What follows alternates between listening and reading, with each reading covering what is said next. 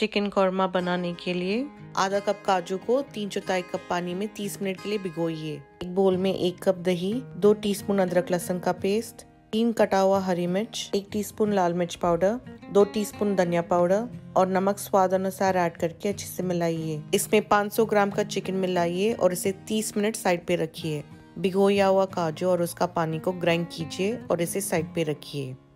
एक पैन में तेल, एक तेज पत्ता पाँच लौंग और पाँच इलायची ऐड करके हाई फ्लेम पे एक मिनट तक पकाएँ। उसके बाद चिकन ऐड करके अच्छे से मिलाइए।